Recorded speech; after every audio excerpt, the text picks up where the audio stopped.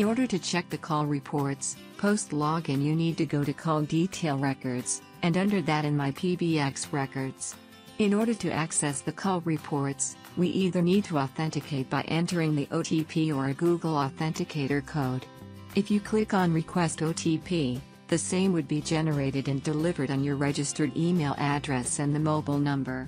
The feature has been implemented to make sure that no one besides the account administrator is able to access the call records.